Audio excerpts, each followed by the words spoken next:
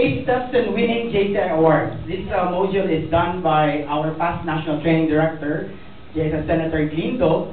What we will be doing right now is for you to appreciate the award system. Okay? First, who have done awards in the past? Like, you know, doing, before it was big books, now we call that e-awards because you will be doing that online.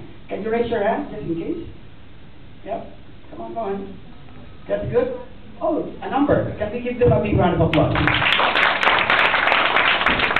Our objective here is for you to come up with a little bit of sharing. Maybe some of you won awards in the past.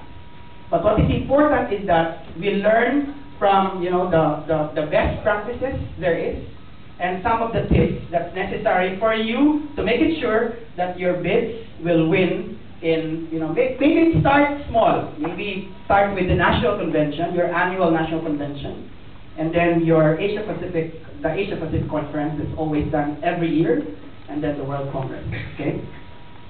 So, okay, we'll have a brief introduction. Uh, so what we will do is, uh, because this is a large group, I'll divide you into um, four groups. Okay, so one, two, three, four. One, two, three, four. One, two, three, four.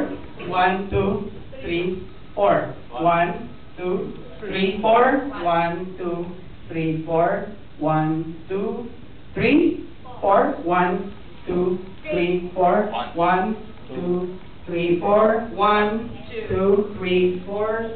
One, two, three, four. One, two, three, four. One, two, and three.